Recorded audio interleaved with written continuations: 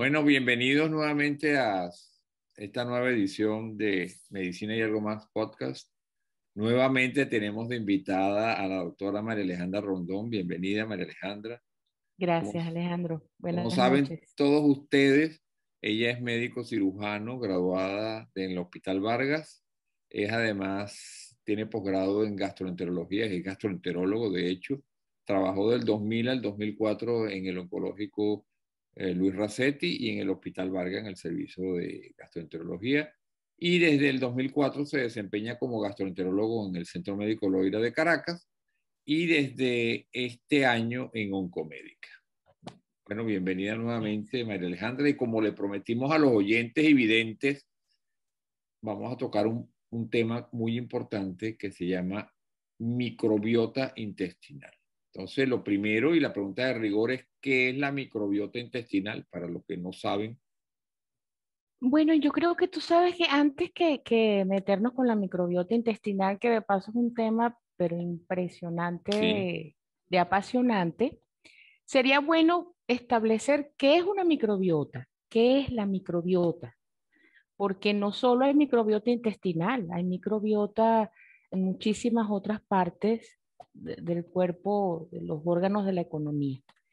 Microbiota significa y hace alusión a esa cantidad de microorganismos vivos que hacen vida dentro de un órgano o sistema. ¿Ok? Esa es la primera, la definición grande. Tenemos microbiota en la nariz, tenemos microbiota en la garganta, tenemos microbiota en los pulmones, hay microbiota en el tracto urinario, hay una microbiota extensísima a nivel de piel y por supuesto hay microbiota intestinal, que es la que nos, que es la que nos compete en este rato. Pues. Y la, y la vaginal es importante. Ah, y la vaginal también. Hice omisión de ella, también es importantísima. Y además tiene ahorita conexión con lo que vamos a hablar de la microbiota intestinal. Sí, señor. Así es. Entonces, entonces, ¿qué es la microbiota intestinal? Bueno, la microbiota intestinal, entonces, siguiendo con, con el concepto, es la cantidad de bacterias y otros microorganismos que hacen vida dentro del tracto digestivo, principalmente a nivel de colon. Porque hay algo de microbiota, hay algo de microorganismos vivos en algunas otras partes del tubo digestivo como tal, pero donde las, eh, donde las condiciones son idóneas y son perfectas para que ella haga su vida, es básicamente en el colon. Y la Sigue adelante es uno de los sistemas más fascinantes que puede haber incluso a nivel, o sea, en el universo, Alejandro. Lo comparan, lo llaman el ecosistema simbionte, porque es el ecosistema perfecto. Este, ojalá uno pudiera conseguirse a alguien que fuera como una microbiota, porque la relación es principalmente mutualista eh, comensal, simbiótica. Son, estamos hablando de, yo misma quedé asombrada, yo sabía que, que era, uno ha estudiado esto, pero esto es reciente, esto tiene más o menos como desde el 2001, 2002, que se empezó a acuñar el término microbiota, microbioma, y sin embargo, como 50 años después de que en el 58 más o menos le dieron el Nobel a un austriaco por empezar a estudiar el genoma de las bacterias. Se le llama el metagenoma también, Alejandro, porque se sabe que hay aproximadamente más de 100 más de 100.000 especies a nivel de colon, o sea, a nivel de bacterias. Son básicamente bacterias, ¿ok? Virus no, ni tampoco hongos muy poco porque tanto los virus como los hongos no son capaces de tener una relación simbiótica de o tener una relación de comensal. O sea, básicamente los organismos donde ellos entran, los virus o los hongos, no, no son como para dañar o de alguna manera colonizar. estas bacterias, que de paso son, son como tu huella dactilar, tu microbiota no es jamás parecida a la mía. A pesar de que hay un sustrato de ellas, más o menos unas 125 especies que son propias del ser humano. O sea, no hay, si hay, si examinan o evalúan un tejido vivo, van a saber, un tejido vivo que no sepan de qué etiología es, al momento de revisar, de evaluar su microbiota, van a saber esto es un tejido humano, es porque tienes como una especie de, de huella, de cédula, de DNI que habla de que esos, esas bacterias, esos microorganismos solo pueden cohabitar en el organismo humano. Cuando, cuando se, se, estudia o se habla de la microbiota, incluyendo el, el ADN, es lo que se llama el, microbio, el microbioma. El microbioma. Entonces ya el concepto es de microbioma.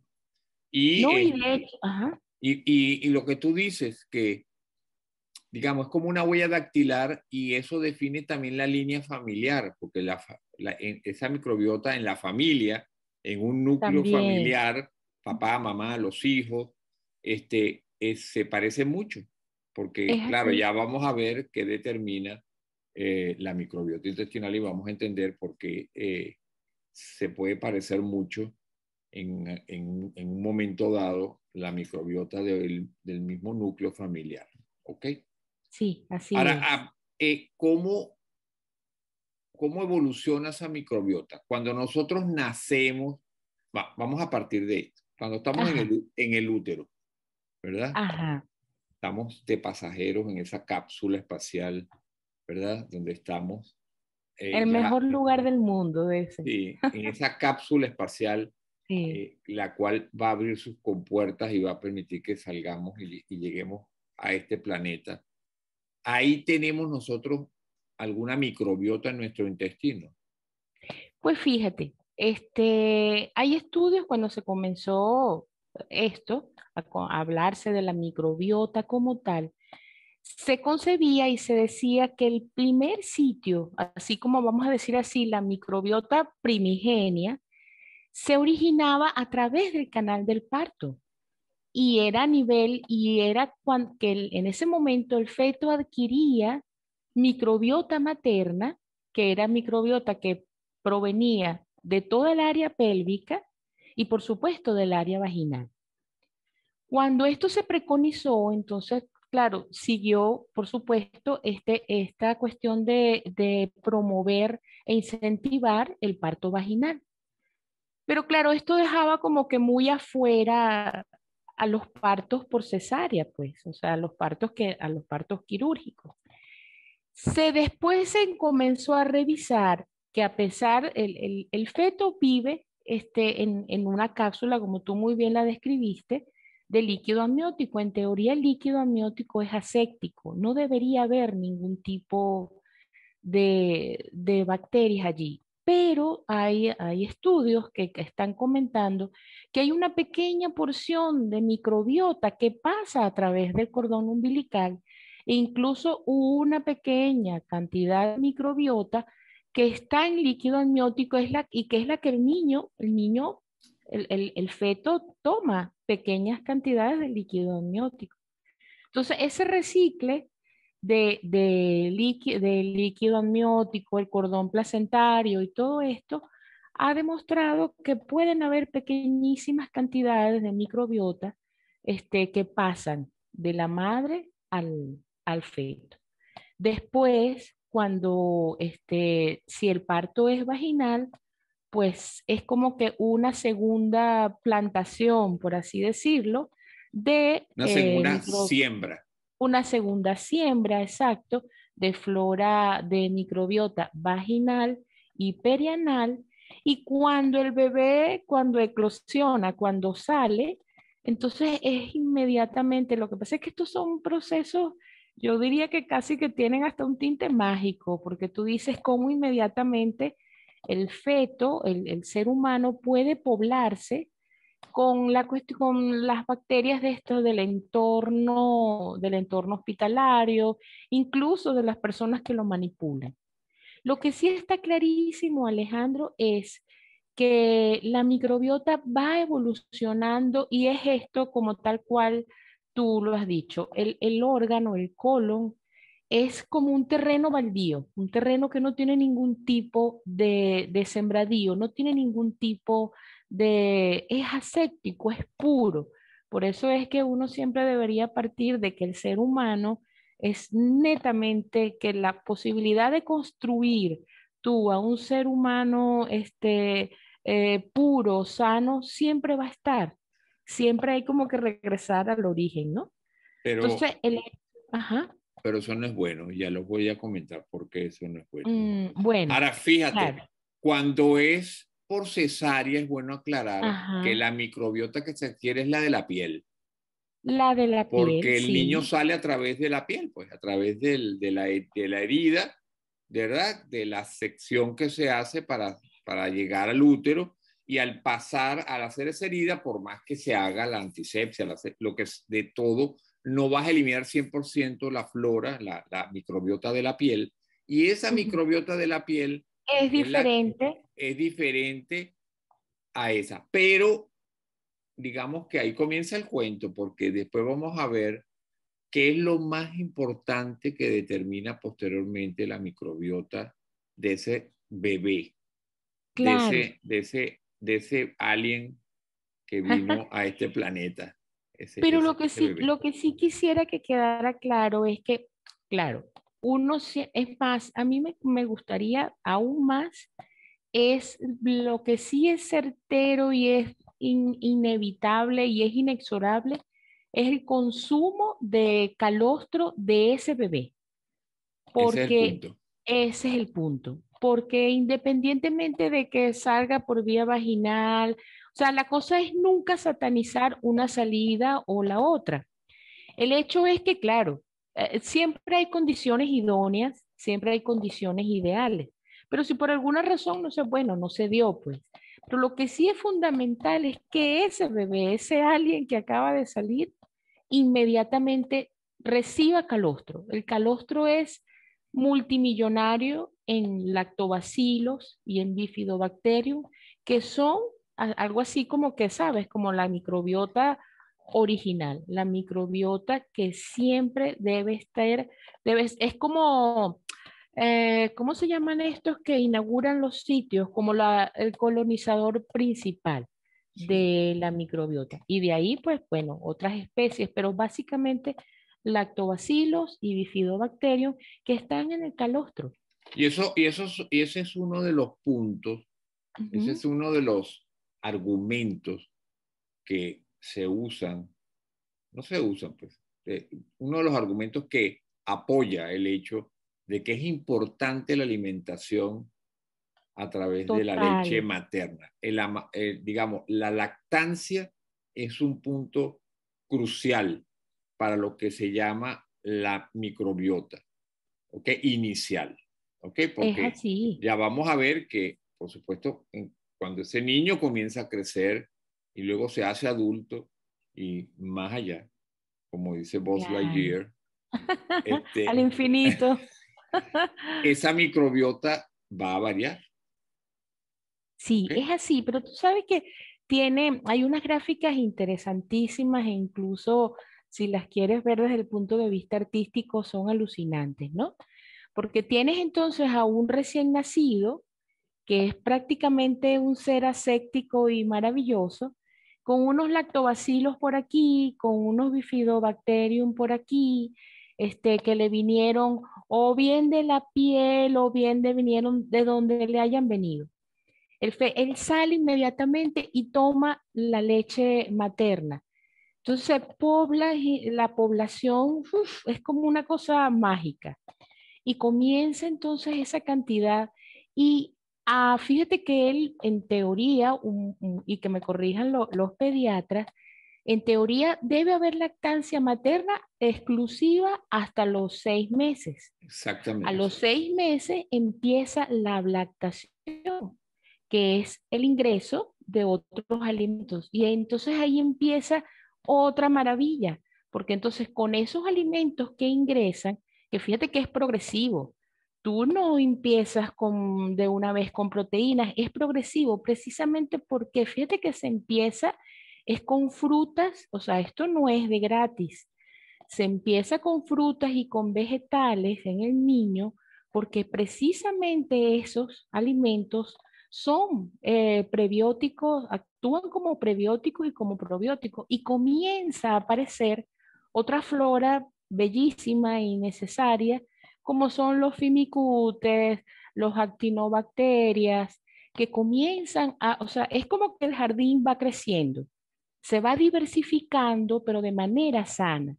De tal manera, Alejandro, que hasta entre los dos y tres años, ya la microbiota de ese lactante, porque entre los, no, más o menos, ya ahí es como un preescolar, ya esa microbiota va a estar tan sanamente establecida que se mantiene bastante estable, bastante estable hasta la edad adulta. Que ahí es cuando entonces comienza uno a hacer los desastres que comienza a hacer y entonces comienza, empiezan a aparecer todos los efectos deleterios que, que se ocasionan con hábitos nutricionales incorrectos, este, y toda una serie de cosas hasta que llega la senectud, la vejez, donde ahí sí cambia totalmente la microbiota y por eso es que las personas de la tercera edad o la senectud son tan vulnerables, porque la microbiota es básica y principalmente un sistema, de hecho lo llaman el órgano inmunitario olvidado, porque una de sus principales funciones es de defensa inmunológica. Y por eso es que en la tercera edad son inmunológicamente tan vulnerables, precisamente por esto, porque la microbiota hace como un pico, como una campana de Gauss. Desde que comienzas el nacimiento, llega un punto, que es la adultez, si has tenido una, una vida sana de alimentación, llegas a un punto donde hay una microbiota ideal y después el declive.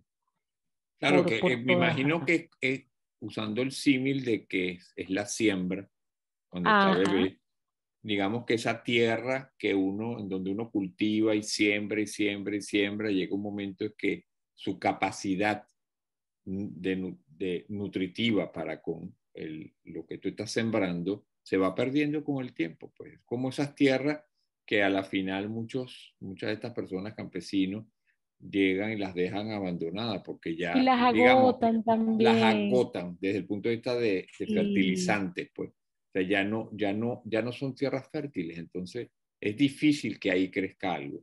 Sin embargo bueno todavía hay eh, la esperanza de, de, que nosotros podamos retardar retardar ese ese mm, ese problema. ese deterioro. Ahora, pero fíjate que ajá, dentro de una persona dentro de una persona puede variar, ya dijimos, dependiendo de si, este, si es joven, ya está en la edad adulta, ya en la senectud. Ok, eso va ligado a la edad. Ahora, ¿qué otros factores determinan que la microbiota mía sea distinta a la tuya y en la del vecino? Ah, fíjate. ¿Por qué los que viven contigo tienen más o menos una microbiota parecida? ¿Y por qué tu hermana o mi hermana o mi hermano Mm, tiene una microbiota distinta y son familiares míos. ¿Qué está determinado? ¿Cuál es uno de los factores más importantes ahí que determina eso? Bueno, fíjate, eh, como todo en, el ser humano, hay factores intrínsecos, factores tuyos que no son modificables. Tu carga genética no es modificable, eh, afortunadamente, ¿no? Este, por un lado. Eh, lo otro que no es modificable es incluso cómo funcionan tus sistemas. Tus secreciones intestinales, tus secreciones de todos tus órganos son particularmente tuyas. Eso yo no lo puedo modificar. Lo que sí puedo modificar son los factores externos.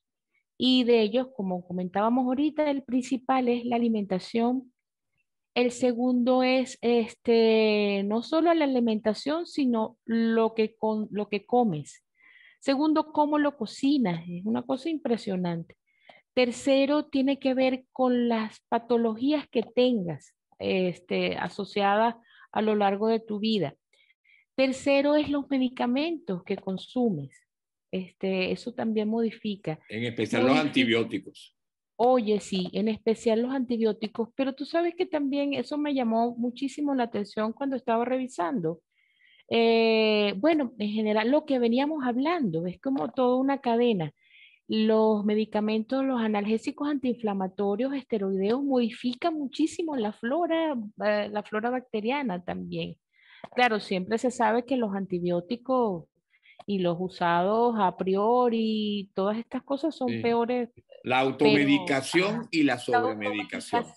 sí, eso, eso, debería quedar bien claro. Porque eso sí son e, ese tipo, esos medicamentos son deleterios. Ellos eliminan la microbiota, matan a la microbiota, no solamente cuando la persona cuando la persona tiene que tomar antibióticos porque es necesario. No tiene, que, exacto. Tiene una neumonía, una infección urinaria, X, y necesita antibióticos. Bueno, mira, eh, como todo, el, vamos a tener beneficios, que es erradicar esas bacterias que están causando la enfermedad, pero a su vez tenemos efectos secundarios como son no que le da náusea o que le da vómito o que le da mareo o una reacción alérgica, no, sino que también estamos eliminando parte de la microbiota, porque esos antibióticos muchas veces son, son, digamos, efectivos para eliminar no solamente la bacteria eh, que está causando la enfermedad, sino también a la microbiota, que es la, son las bacterias buenas. Okay, son no, y mucho más cuando utilizas el antibiótico, la, la, algo que debería ser erradicado es la antibioticoterapia de amplio espectro, por Dios, eso ya no tiene, no tendría cabida. todo antibiótico tiene que estar indicado según la bacteria. Otra cosa que te influye es las condiciones socioeconómicas. Este, obviamente eso se, se, se traduce, se entiende que la condición socioeconómica va va a influir directamente a cómo te alimentas. Pero no es la misma la microbiota de una persona incluso que viva en medio rural a otra que viva en medio citadino. Es así. toda una serie de, elementos externos tienen que ver en, en qué microorganismos te habitan, pues, por así decirlo. Ahora, ¿qué importancia tiene la microbiota? Ah, pero antes de eso, aclarando, estas microbiotas en, la, en su mayoría son bacterias. Puede haber hongos, puede haber unos virus, pero, eh, eh, básicamente son... bacterias. Ahora, ¿por qué esas bacterias no nos hacen daño? Porque hay unas bacterias malas y unas buenas. Exactamente. Claro que sí. Hay bacterias que precisamente porque su necesidad, su actividad es, ellas necesitan estar en un ambiente eh, ¿cómo te digo? Como en, la, como en la naturaleza, como todo en la naturaleza. Es, lo que establecen esas bacterias son relaciones de comensalismo, de mutualismo y de simbiosis. Yo voy a estar en tu colon, ¿ok? Voy a vivir allí, voy a hacer mi vida allí, pero tú me necesitas y yo te necesito. Por eso es que hablan de un metagenoma hay más información genética de los, de los microorganismos que viven en colon que incluso más de las células humanas, de las, de, de las células intestinales, Alejandro. ¿Y qué beneficio tiene entonces? O sea, porque nos, yo puedo entender, las bacterias están en mi colon y yo, bueno, cada vez que como ciertos alimentos, le, estoy, estoy consumiendo, este, digamos, Mm, azúcares, estoy consumiendo proteínas, grasas, vitaminas, minerales para mí que los necesito. Pero también parte de eso va a, va a ser consumido por las bacterias y ellos tienen ahí su alimento, su alimento bueno, pues digamos, ese delivery está, pero gratis ahí. Permanente. Permanente. Ah, ok, ahora de vuelta. ¿Qué nos ofrece, qué nos están dando ellas? Mira, fundamental. Hay algo que ellas producen, que no, de hecho no lo producimos nosotros, y es los ácidos grasos de cadena corta.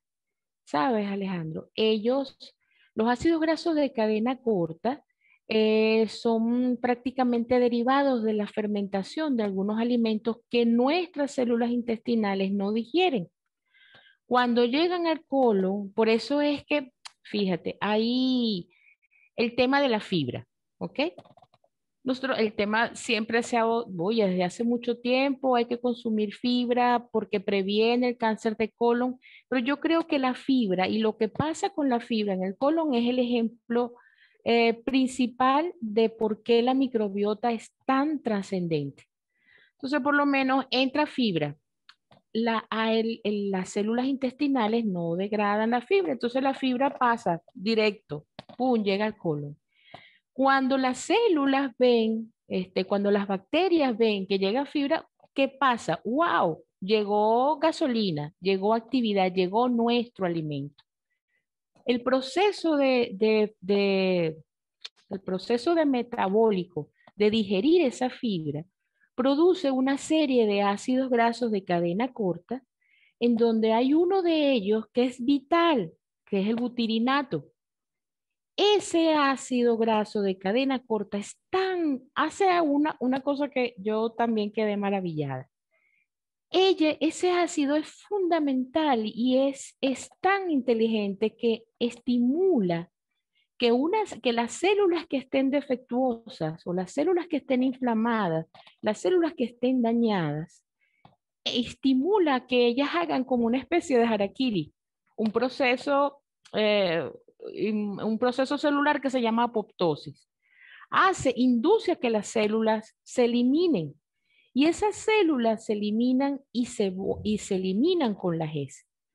Esto es una cosa fundamental porque esas células defectuosas, esas células dañadas, pudieron haber sido células potencialmente, cancerígenas. Exactamente. Entonces tú dices, wow, pero todo eso lo hace una bacteria. Sí, todo eso lo hace una bacteria. ¿Qué otra cosa hace la bacteria? Eh, Por ejemplo, Llega, llego y consumo un producto que está eh, colonizado por bacterias que no son amigas. Ah, bueno. ¿Qué pasa si yo consumo eso? ¿Qué papel, qué rol cumplen estas?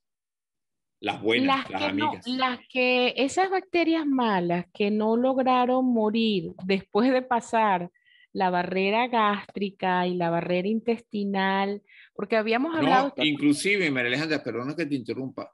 Ponte tú que no era bacteria, sino el producto de ella, las toxinas. Ah, Ingerí toxinas, pues.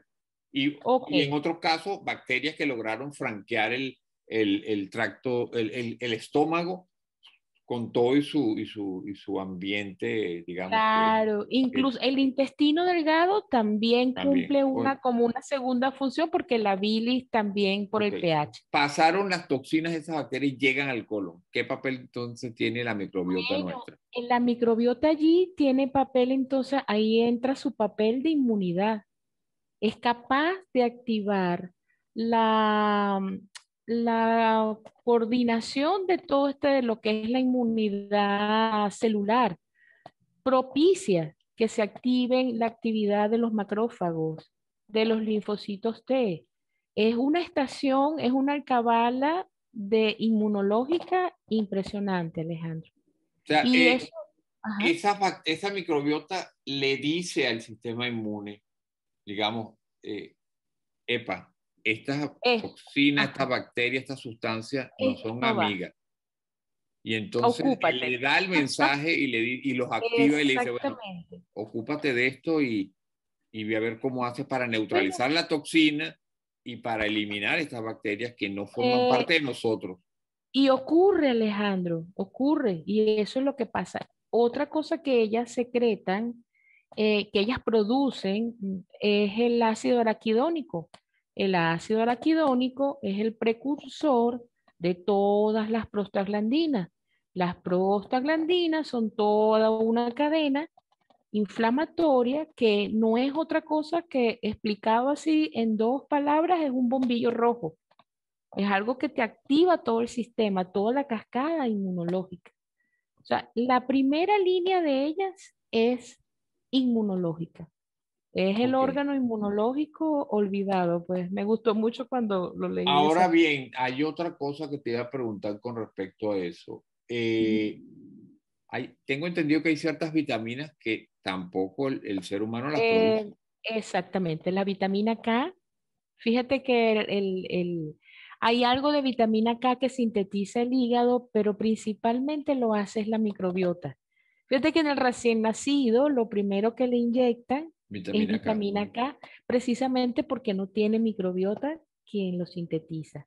Una parte eh, lo produce el hígado, que posteriormente, el, bueno, sabemos que el hígado es nuestra principal fábrica de muchísimo, pero un gran porcentaje de vitamina K lo produce la microbiota.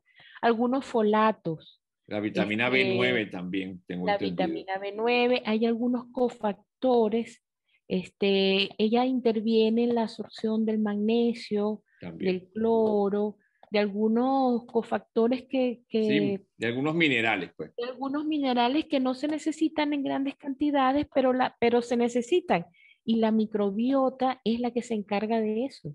Es fascinante la cantidad de cosas que produce. Ahora, lo otro, fíjate que yo te iba a decir es, también tiene importancia eh, en la, vamos a decirlo así, primero, la función importante es mantener nuestro tracto digestivo, el colon sano, al defendernos de otras bacterias, ¿verdad? Y, y, de por sí, pues, al facilita, tiene un, efecto sobre lo que es la, la, la, digestión y la absorción de, y la producción de vitaminas, la absorción de ciertos oligoelementos, la absorción de ciertos azúcares. Ella interviene y facilita la absorción de muchos de estos, de, esta, de, esta, de, esta, de estos nutrientes que nosotros necesitamos. Ok, ahí tenemos un papel. Sabemos que además tiene un papel importante en, la, en lo que se llama la inmunidad, no solamente local en el intestino, porque digamos, la, la, microbiota le informa al cuerpo y le dice, epa, recuérdate que yo soy la bacteria amiga, aquella es la bacteria mala.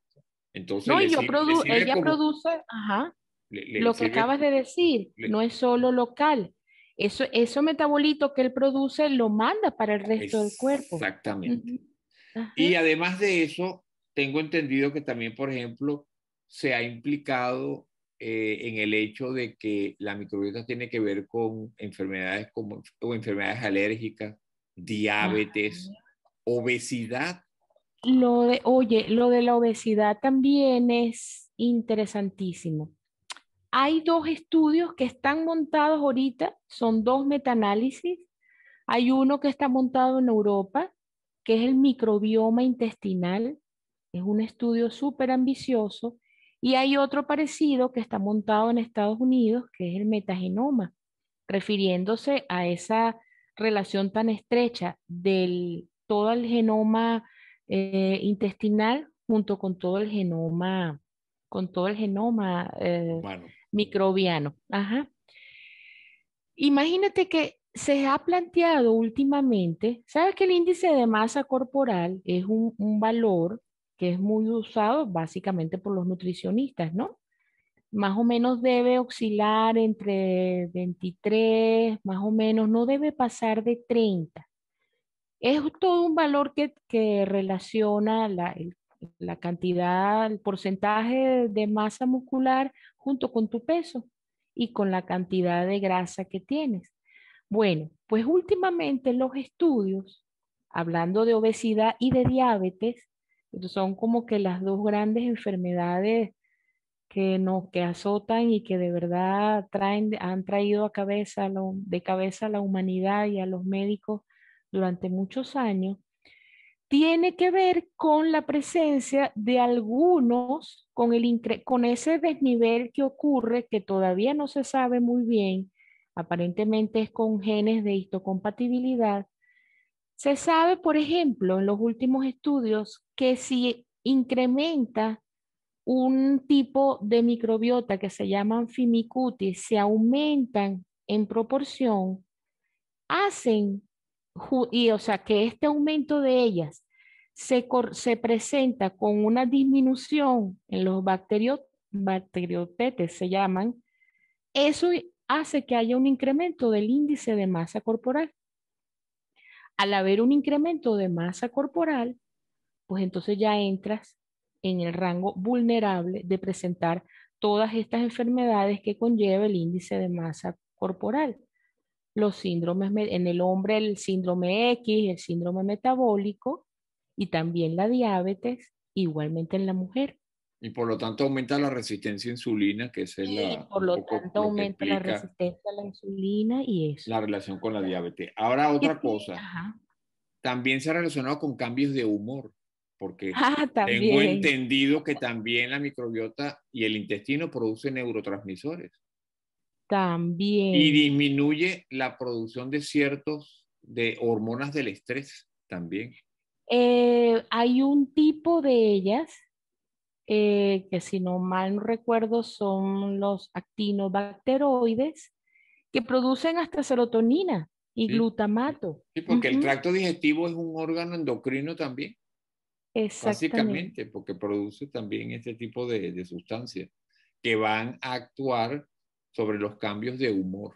Entonces, eh. muchas veces eh, el cambio de humor viene determinado por el, por el, el tipo de, macro, de microbiota que tenga la persona. También. No, y además, o sea, que la tengas, porque tú, por ejemplo, fíjate el chocolate. El chocolate siempre se ha asociado históricamente con placer, con bienestar, lo relaciona con el amor, tiene mucha, pero es porque el consumo de chocolate este, promueve eh, la, la producción de serotonina. Y parte de esa serotonina, o sea, el chocolate está entrando por boca, va a tracto digestivo. Entonces, parte de esa serotonina que se libera, que es una hormona de placer, que es una sustancia que te genera placer, tiene que ver con la microbiota. Por supuesto, claro que también a nivel neurológico, pues, pero... Y el, chocolate oscuro también eh, actúa como probiótico. También, también. Ahora fíjate, Está bien, ya hablamos de, que, de cuál es la importancia que tiene relación, sobre todo, eh, número uno, con, digamos, con la salud de, de, nuestro tracto digestivo y además de eso con la inmunidad, no solamente local, sino con la inmunidad general, pues. Y con ciertas afecciones como son alergias, algunas enfermedades autoinmunes, este, la obesidad, diabetes, cambio de humor, etc. Ahora, la pregunta es, ¿cómo hago yo para mantener una microbiota saludable? Entonces aquí vienen dos conceptos. ¿Qué es un probiótico y qué es un prebiótico? Prebiótico es, lo que viene antes del probiótico. no, eh, no. no. Estoy, estoy, bromeando, pero lo que quiero es aclarar los términos. No, no, no. Y pues se puede entender que prebiótico es antes de. Es antes de. Bueno, es que es más, ahorita están hablando hasta de posbiótico, pero mejor no me, no me metas a explicar eso porque es más complicado. ¿Qué es un prebiótico y qué es un probiótico? Fíjate, un prebiótico, y eso tiene que quedar clarito, un prebiótico es una sustancia que está en los alimentos. Ok. ¿Ok? No hay prebiótico en pastillas ni en cápsulas. El prebiótico es una sustancia que viene no digerible, no digerible, que al consumirla estimula la aparición y la actividad de microbiota.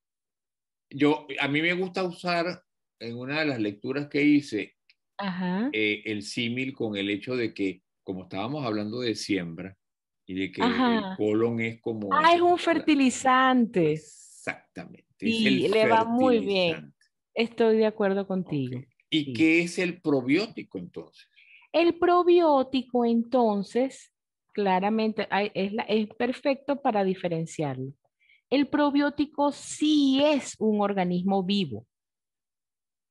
Sí es un microorganismo vivo que administrado o promueve o, yo lo estoy dando para sembrar en el caso de que desapareció, o estoy así, o al administrarlo, pues es como que estimulo que aparezca esa, ese microorganismo que por alguna razón, enfermedad. Fíjate, los probióticos son típicos. El mayor uso del probiótico es post síndromes diarreicos. El antibiótico, si tomaste antibiótico y te barre. Si tomaste con antibiótico. la microbiota. Pero, tú necesitas darle darle bacterias buenas. Exacto. ¿Verdad? Para que esas bacterias se, eh, se, se radiquen en el colon. Exacto, pero es bueno que aclares eso. Bacterias buenas. Claro. Entonces, por eso es que hay probióticos, claro, pero es que de repente, fíjate, em, ahí es cuando viene el abuso de la persona y ahí es donde viene, porque entonces, ay, yo, ¿sabes? esto está muy de moda. ahorita en los bodegones hay unos frascos de este tamaño, de 100 mil pepas de todos colores, que la gente, es que eso es un probiótico y eso es bueno. Y la gente empieza a tratar. Los probióticos están plenamente descritos. Son básicamente lactobacilos, bifidobacterium y muy pocas, eh, muy pocas, muy pocos hongos. De los pocos hongos que son probióticos y son buenos, son los sacharomices. Que el sacharomices era el que estaba presente en ese medicamento que usamos mucho, que fue el Florestor, que ya no se consigue mucho por allí. Mientras que el lactobacillus era el, el liolactil, el famoso y noble liolactil. Y ustedes los gastroenterólogos, cuando hay esa, esos problemas de cuadros diarreicos, donde hay una infección intestinal y, esa bacteria mala también va a atacar a la bacteria buena. Entonces, el médico que hace, el gastroenterólogo, no tiene más remedio que usar un antibiótico y dice, bueno, mira, sacrifico mi microbiota, pero tengo que eliminar esta bacteria buena porque si no el hospedero, que es el humano, es, capaz, es que no se va a complicar y puede morir. Entonces tú dices, bueno, mira, lo que necesito es curar al, al, hospedero, ¿verdad? Eh, a pesar de que mate parte de la microbiota, pero elimino la bacteria buena, pero ahora ¿cómo hago? Tengo que restituir esa microbiota. ¿Qué le manda algo el gastroenterólogo habitualmente? Ahí mandas probióticos. Es más, ¿cuáles? ¿Cuáles probióticos? Tiene que ser los que tengan lactobacilos. Ok, pero te pregunto, hay probióticos que son naturales. Ajá, eso. Por bueno, ejemplo, por eso facilito, coma yogur coma yogur. Exactamente. Pero también hay probióticos que son eh, de origen industrial, pues vienen en cápsulas, vienen en suspensión, vienen en gotas y son para niños, etc. Es que a eso voy. La terapia ideal siempre, Alejandro, siempre va a ser, en el caso del tracto digestivo, la correcta conjunción entre el medicamento y el giro en el hábito dietético. Okay. Si no lo haces, es más, tú puedes estar controvertido en el que, mira, yo voy a dar el antibiótico junto con el probiótico. Yo, yo, María Alejandra, soy particular de dar el tratamiento con antibiótico. Cuando termine el antibiótico es que introduzco el probiótico. Lo que sí hago es el cambio dietético simultáneo, porque me parece que esto que estoy haciendo como estoy como, no estoy haciendo las cosas bien en el sentido de que, ok, yo estoy matando, tengo un antibiótico que está dirigido a esa bacteria, por lo menos. Las hecherichas no son este, parte de una microbiota como tal, sobre todo ahí porque hay grupos de hecherichas, por lo menos la enterotoxigénica, que o sea, no puede ser jamás una microbiota. La Echerichia coli pudiera ser este, un, una, un comensal, pero en muy pocas cantidades, más en el tracto urinario.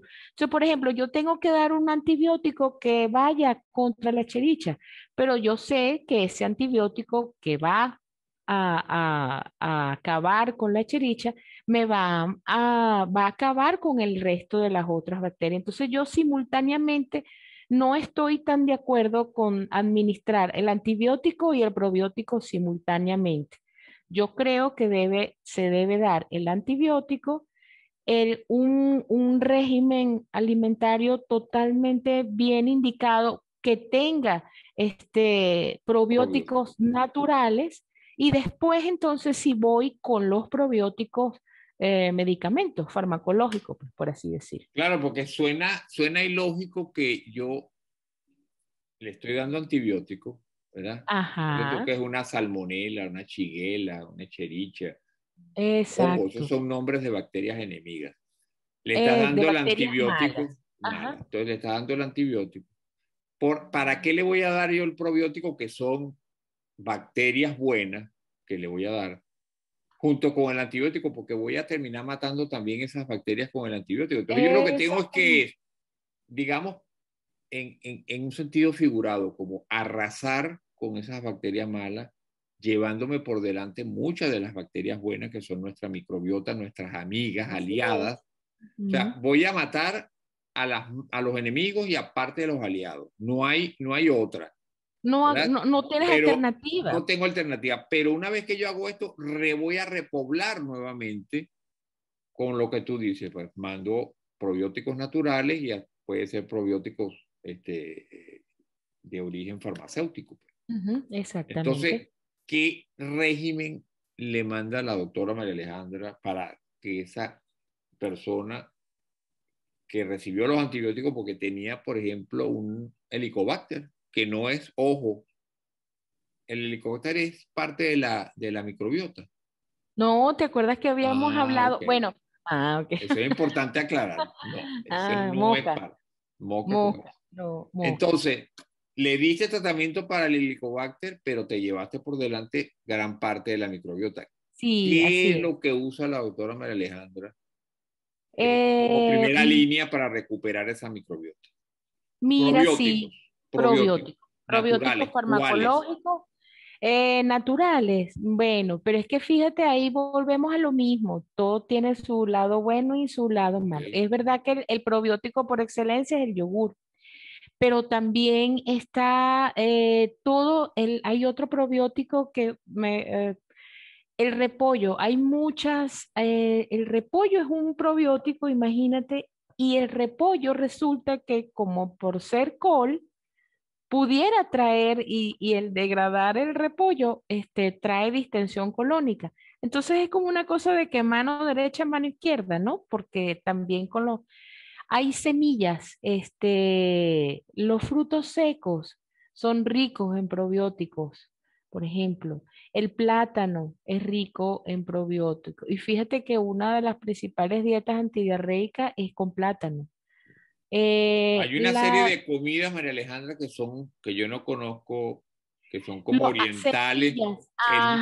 El, miso, que es, viene de soya fermentada. El kombucha, hay una bebida. Sí, también, porque, porque vienen, porque son, son alimentos fermentados de manera natural.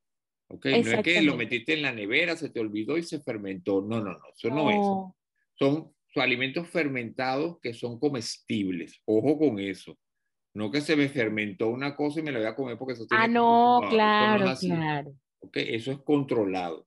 Pero por otro lado tienes medicamentos que también contienen esas esa microbiota. Los filizados, claro, los probióticos, por eso es que te digo, el prebiótico sí nunca lo vas a poder encontrar. No, no, el probiótico ese viene también en, puede venir en cápsulas, en suspensión y en gotas. Lo que llaman lisados, liofilizados, este, cualquier presentación. Vienen como, en una, como en una especie de, de, de, ¿cómo se llama? Como una especie de esos, mm, son como unos tubitos de plástico como unos viales. Como unos viales, entonces tú los, rompes y entonces es líquido, pues realmente es líquido. Bueno, fíjate la enterogermina, ¿cómo no se usó la enterogermina?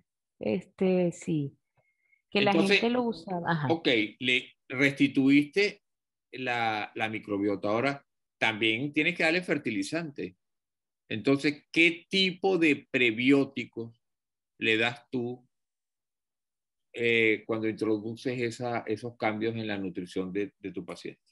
Ah, bueno, el prebiótico por excelencia, Alejandro, es la fibra. Y la fibra está en, en vegetales, está en granos, está en queso, el queso, el queso, los quesos añejados. Yo creo que básicamente es una alimentación este, sana, Alejandro, y una alimentación sana implica este, dejar de lado estos, estas pautas de dieta que antes eh, se preconizaban, que era la cuestión de eliminar los alimentos. Tú no puedes eliminar la grasa totalmente porque las paredes celulares están hechas de, de grasas, ¿ok? No puedes eliminar de todas las proteínas porque las proteínas son las sustancias que forman eh, el, tejido muscular.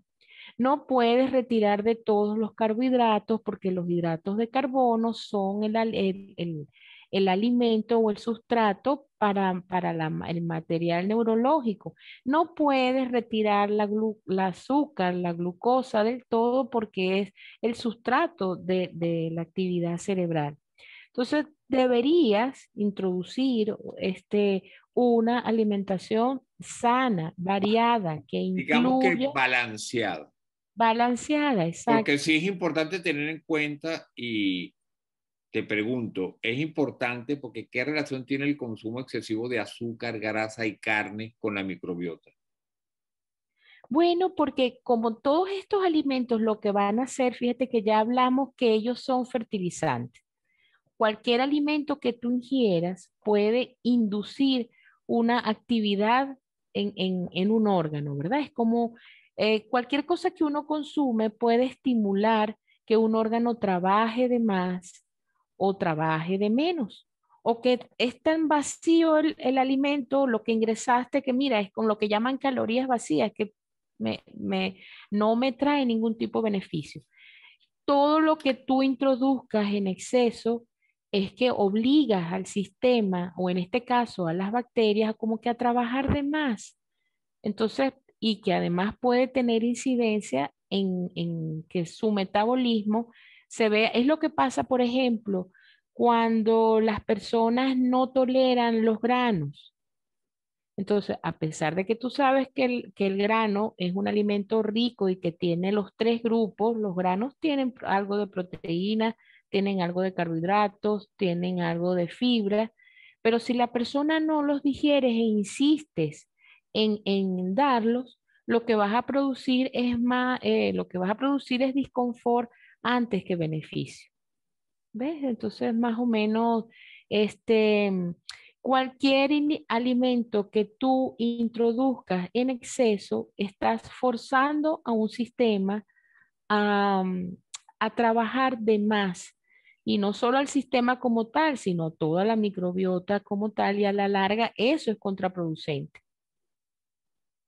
Claro, y el, pero el consumo de carne definitivamente no entra dentro de lo que son las necesidades de la microbiota. Son necesidades, quizás entre comillas, si la persona pues no es vegetariana o vegana, para, para el consumo de proteína pues del, del ser humano. Pero digamos que el alimento de la microbiota es básicamente el prebiótico. Ahora, fíjate. sí, sí, es Hay dos tipos de fibra básicamente. Hay una fibra que sí la digerimos nosotros, es buena para nosotros, pero hay lo que se llama la fibra que no se digiere, que es la que la gente tiene el concepto de que la toma cuando está estreñido. Ah, yo voy a tomar fibra. Entonces eso sí, fibra con bastante agua, ojo. Entonces fibra y, pero también hay que tener el concepto de que esa fibra no digerible es el fertilizante de la, es, el que realmente ajá. Son, es celulosa que es la que está, es, la, es el fertilizante que está, por ejemplo, otro, otro prebiótico por excelencia son todos los vegetales verdes. El repollo, el espárrago, la remolacha, la cebolla, la manzana rallada. El ajo, también. También, en los espárragos. ah, las alcachofas, imagínate. Ah, y cuando das tubérculos, sobre todo si se comen con la concha, ¿verdad? Como la papa, batata. la batata. Entonces, claro, uno, uno ya sabe de por sí cuando uno se come una papa con que no la pela, le quita la piel, sino que se la come completa, uno ya tiene el concepto y cuando uno come espárrago, de que uno dice, bueno, me voy a comerla, como dice uno, hay gente que, por ejemplo, se come la manzana sin concha, yo me la como con la concha. Ah, es que se debería pues. comer. Ajá. Pero esa concha uno sabe que va eso no se va a digerir, pues. Entonces, bueno, la estoy tomando como fibra, pero también hay que tener en cuenta que ese es prebiótico.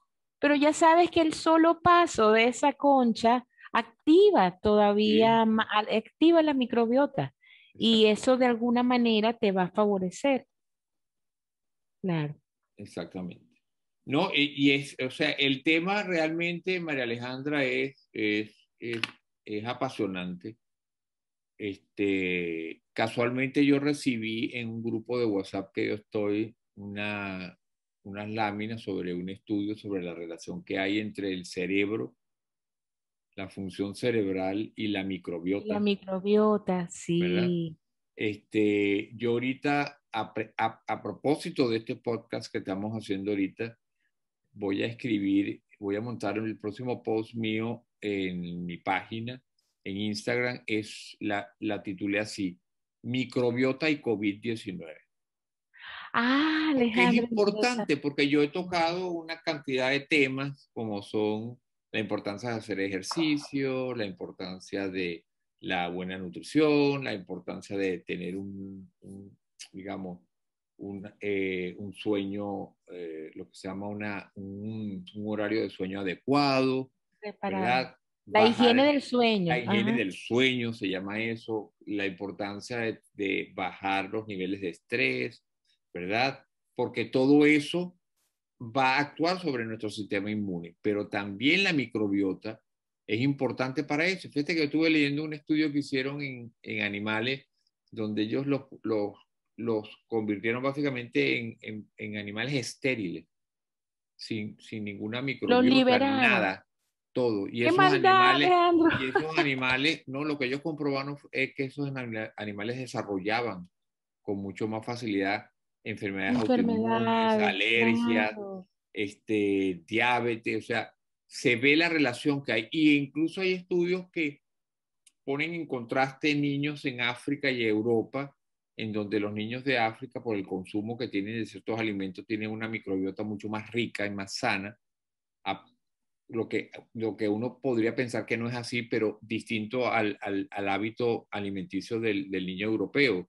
Y se ha visto que eh, hay una correlación entre la, la, cantidad de niños asmáticos que hay en África y lo que hay en Europa, que es mucho mayor en Europa. En Europa.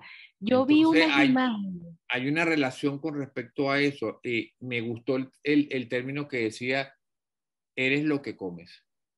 Ajá, es, eso lo es, sí, así es. Eso también lo, lo comenté. Yo vi unas imágenes de microscopía electrónica eh, donde se ve el hábitat como tal de las bacterias y era una cosa impresionante, una cosa así como que estuviera viendo fotografías de, de la selva africana, de la tundra, de cualquier ecosistema eh, impresionante. Decían que si tú, que entre más o menos habían como 150 mil especies, o sea, 150 mil eh, familias de microorganismos, que eso te llevaba a que en número entero podían, en, dentro del colon, podían estar habitando entre 100 a 150 millones de microorganismos. Entonces, era más, más la cantidad de material, de genoma de microorganismos que de las mismas, que de las mismas células humanas interesantísimo. Y además si, partimos del concepto de que la macrobiota, porque está la macro y la microbiota. La macrobiota son, digamos, es la, la cantidad de animales que viven en, en, un determinado sitio. Existe la macrobiota de África, la macrobiota de América, la macrobiota de la, selva amazónica, son el, los diferentes seres vivos, animales que viven ahí. Y entonces la microbiota es como si nosotros tuviéramos un gran continente, ¿verdad? Que es en nuestro intestino donde viven estas seres, estos seres vivos, valga la redundancia, viven ellos ahí, ¿verdad? Y ellos este, eh, nos usan a nosotros como, como si fuera nuestro colon, como si fuera un continente, pues. es que sí. Está poblado. Es como un universo dentro de otro universo. Es nuestra fauna. Exactamente. nuestra, nuestra propia fauna que tenemos dentro. Entonces, fíjate cómo, cómo desde el mundo exterior el planeta Tierra tiene toda una macrobiota, ¿verdad? Que varía en como, como así varía la microbiota dependiendo de las familias y de las casas y de los vecinos donde uno vive, la macrobiota varía también de, de país en país, continente, ¿verdad? Y la microbiota, a su vez, está dentro de nosotros, que somos además la macrobiota del... De, nosotros formamos parte de la macrobiota del, parte de la, del planeta Tierra. Entonces, fíjate cómo va, va, va, va la situación de, de, de que nosotros somos, una, somos macrobiota del planeta Tierra, pero además tenemos una microbiota ¿verdad? Una fauna dentro de nosotros. Es que es impresionante. Si uno llegase a entender la, lo perfecto, fíjate si tenemos, como tú lo dices, tenemos una población adentro de nosotros mismos. Estamos, es como, como yo he sentido, o sea, el ser humano definitivamente eh, encaja dentro del universo como una matriusca somos como una, es como pequeños, o sea, tenemos que entender que somos parte de, de, un sistema. Yo creo que cuando lo empezamos a entender, creo que vamos mejor. Cuando nos respetamos a nosotros mismos, respetamos a nuestra microbiota cuando nos alimentamos bien. El, el, el, respetamos al planeta cuando lo cuidamos. Es una cosa como que es un, es un efecto que va, sí, es la concepción de entender que eres una parte eh, fundamental de, del sistema, del organismo. Pues. Yo tengo una última pregunta que te voy a hacer. ¿Cuál es el especialista por excelencia que debe encargarse acerca de los trastornos de la, macro, de la microbiota?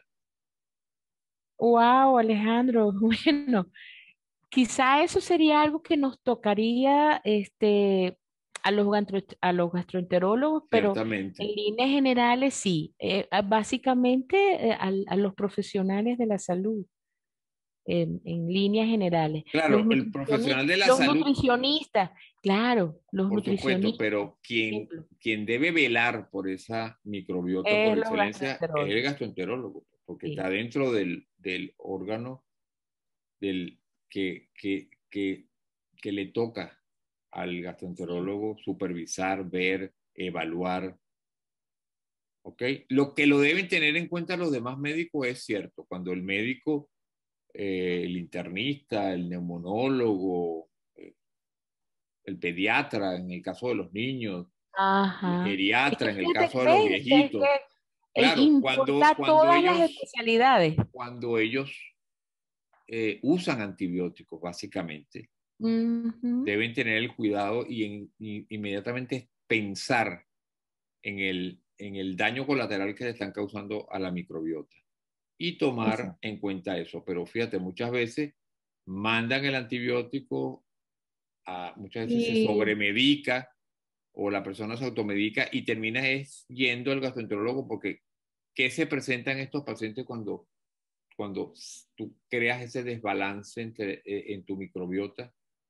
Oye, todos estos trastornos, pueden presentarse los trastornos estos de alimentación, incluso anorexia, puede presentarse un síndrome diarreico crónico. A eso voy. Este, ah, bueno, fíjate que no, no tocamos ese punto, no sé si estoy en tiempo. Eh, muchas de las enfermedades, estas crónicas, inmunológicas, la enfermedad inflamatoria intestinal, el Crohn, el, ajá, el Crohn, la rectocolitis ulcerosa. Este síndrome del que hablamos tanto, que es el síndrome del intestino irritable, tiene que ver también con trastornos en la microbiota. No hablamos tampoco, no comentamos, de verdad se me pasó, disculpen la omisión, en el síndrome de intestino irritable ocurre algo que es muy particular, todavía por fenómenos no muy conocidos. El paciente que tiene síndrome de intestino irritable se autotrasloca, hace una auto, un autocambio de, de su microbiota. Se sabe que incluso puede ser incluso por factores emocionales, factores emotivos y el paciente de pronto está estable y comienza a hacer cuadros diarreicos y por ningún lado está presente una causa infecciosa o alimentaria a la cual tú se lo puedas atribuir. Y entonces ahí no puedes dar antibióticos porque ¿cómo voy a dar antibióticos si la etiología de ese síndrome diarreico no tiene que ver con infección? Entonces allí utilizas otras cosas, utilizas probióticos, utilizas cambios eh, por lo menos de 8 o 10 días de alimentación, incluyes algunos otros alimentos. Eh, la microbiota, ah, fíjate, por lo menos todos estos síndromes neurológicos, los Asperger, el autismo, está más que claro, más que estudiado que la dieta de estos pacientes tiene que ser y totalmente guiada y controlada. Son dietas bajas en azúcares, bajas en grasa, ricas en prebióticos, porque es impresionante el cambio que estos pacientes hacen cuando tú haces un mínimo cambio en la alimentación. Y obviamente es como una cuestión de un ciclo. O sea, yo introduzco un alimento, estimulo microbiota, la microbiota genera unos metabolismos. Es una, es una noria, es un círculo que tiene que ser perfectamente controlado para traer beneficios. Ahora, ¿qué pasa con el consumo excesivo de, de probióticos? También es deleterio porque es probable Ok, está conocido que tú sabes que los lactobacilos son buenos, por ejemplo, y sabes también que el bifidobacterio es bueno, pero ok, pero en una población determinada. Vamos a suponer, este, pudieras traer esas consecuencias como pasa cuando tú metes a mucha gente en una casa. Entran todos estos términos de hacinamiento, de sobrepoblación. Volvemos a lo mismo. Y Todo eso termina según el equilibrio. Produciendo un síndrome diarreico probablemente. También, por ejemplo. gases, dolor abdominal. Hasta, hasta lo contrario, Alejandro, hasta estreñimiento también pudieras. También. Cualquier. Puede, traer flatulencia, este, de gases, disconfort. Los síntomas por los cuales se defiende el colon o manifiesta que está mal, ¿qué es esto? Cambios en las evacuaciones, y cambios en, en, en, su, en su volumen, pues, o distensión o, o, lo contrario. Perfecto. Bueno, yo creo que ya agotamos el tema. Bueno, este tema da para más. Sí, vale, es apasionante, de verdad. Pero lo importante es el concepto que haya quedado de lo que, primero que la microbiota, ¿qué es la microbiota? eh, ¿Qué papel juega la microbiota? ¿Qué relación tiene la microbiota con múltiples enfermedades? Y cada vez yo creo que irá apareciendo mucho más relación entre la microbiota y algunas otras enfermedades que no sabemos. Cómo la microbiota eh, es lo que tú dijiste, es el sistema inmune olvidado, tiene mucha relación con lo que es la capacidad de respuesta inmune que tenemos nosotros. Y eso hay que tenerlo en cuenta ahorita en estos tiempos de pandemia, para que, hay que tenemos que cuidar nuestra microbiota, ¿verdad? Porque ella es parte aliada eh, de nuestro sistema inmune eh, en, en, un porcentaje altísimo, pues. Este, y por otro lado, también eh, el concepto de lo que es el pre y el probiótico, que es el prebiótico, como tú lo dijiste, el alimento, el fertilizante para, para ellos, para mantener una microbiota sana, mantener una, una dieta balanceada, ¿verdad? Este, y por otro lado, el probiótico, que bueno, ya yo creo que el concepto del probiótico debe ser manejado como un medicamento más eh, por parte del médico gastroenterólogo en este caso, y, y como cualquier exceso o defecto en la, macro, en la microbiota, ¿verdad? Ya sea por el, exceso, el uso excesivo de probióticos o el uso inadecuado de antibióticos o por la, la colonización de bacterias malas en el intestino, ¿verdad? Ambos son, eh, traen consecuencias para, para la persona, pues. Que son todos esos síntomas que, como hablamos, cuando hablamos del helicobacter, son síntomas que a veces son difíciles, porque todos se, sobre, se sobreponen. Pues solapan, cuando, sí. cuando, a, tu, a, tu consulta va una persona que dice, tengo muchos gases, tengo dolor, estoy un poco estreñido, tengo cambios en el hábito intestinal, este, tengo dolor abdominal, eso puede ser cualquier cosa cualquier cosa. Pero sabes que si, si es importante regresar a una cosa que es tan sencilla y que es tan simple que es revisar la alimentación, Alejandro. La alimentación, como los abuelitos que decían eso, y como tú muy bien lo dijiste, uno es lo que come. Y revisas y wow, es que tenemos, de verdad tenemos muchos vacíos y en, en, en la forma en que nos alimentamos también.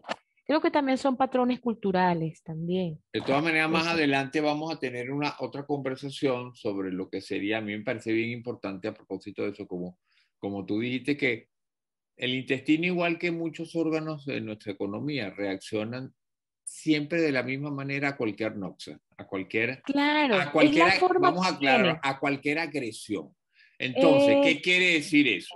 Por ejemplo, Así como cuando yo tengo una inflamación, para aclararle a los que están viendo y oyendo, cuando tiene una inflamación, los signos de inflamación son, y que siempre los médicos nos, enseñan eso desde muy pequeñitos, que son que está enrojecido, caliente, aumenta, aumentado de volumen, ¿verdad? Cualquier cosa que produzca inflamación, una picadura, una reacción alérgica es un proceso inflamatorio, pues, ¿verdad? Este, eh, una quemadura, todo todo va a reaccionar igual. Y el intestino es uno de esos órganos que ante cualquier agresión va... Se va a distender. Se va a distender, va a producir diarrea o estreñimiento, dolor abdominal, eh, cambios en el hábito intestinal. Entonces, cualquier agresión, ya sea un cáncer, ya sea un proceso infeccioso, ya sea una, un proceso, eh, una mala alimentación, el exceso de algún, de algún nutriente o un desbalance en la nutrición, cualquiera, una, algunas de estas enfermedades que tú mencionaste de origen inmunológico, mm. cualquiera de ellas puede producir... Va a dar la misma sintomatología. Lo que llamamos nosotros los médicos un síndrome diarreico.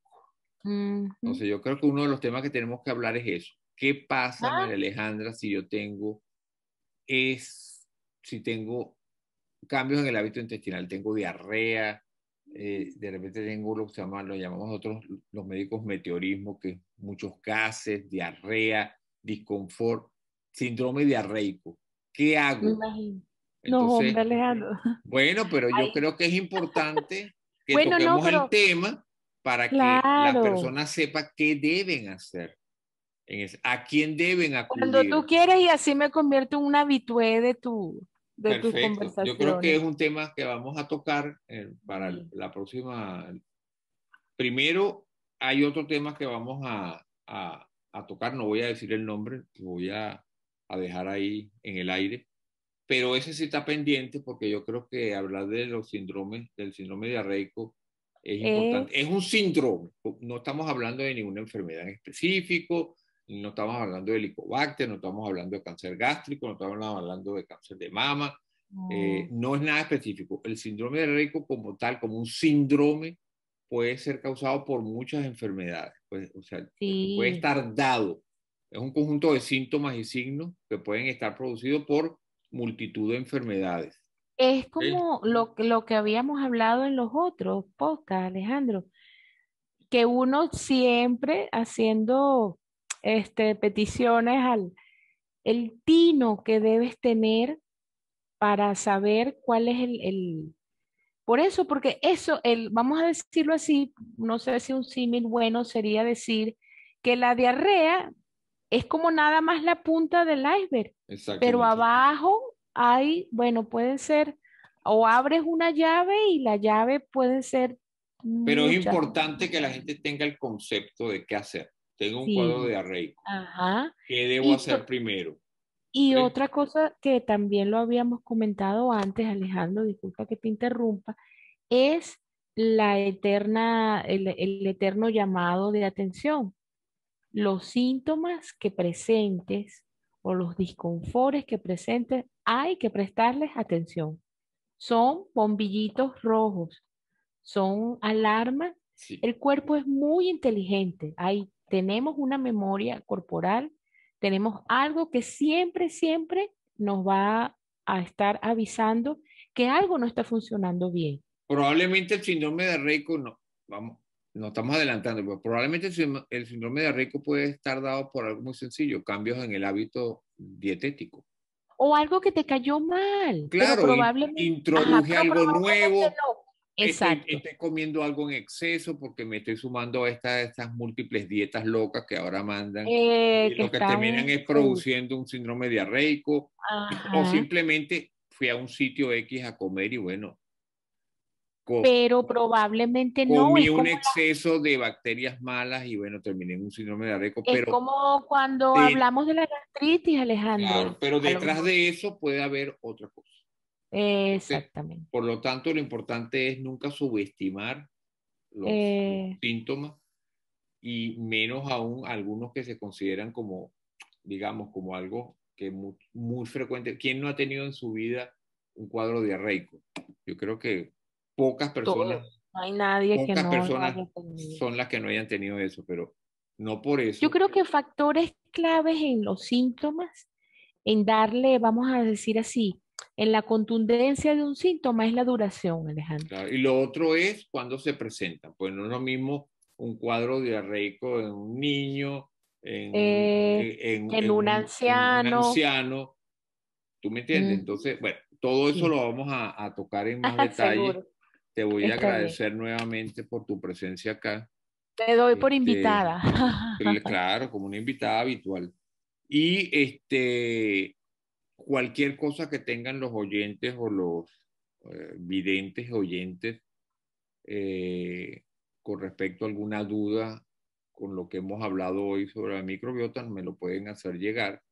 Y si es necesario, pues podemos hacer un nuevo episodio aclarando algunas de estas dudas que no hayan quedado claras eh, con esta conversación. Bueno, no me queda más que agradecerte, María Alejandra. A ti, Alejandro, gracias por el espacio. Estamos en contacto, cuídate. Tú y tu microbiota.